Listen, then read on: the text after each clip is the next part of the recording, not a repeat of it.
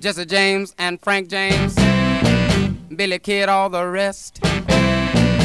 Supposed to be some bad cats out there in the West. But when they dug me and my gangster ways, they hung up their guns and made it to the grave.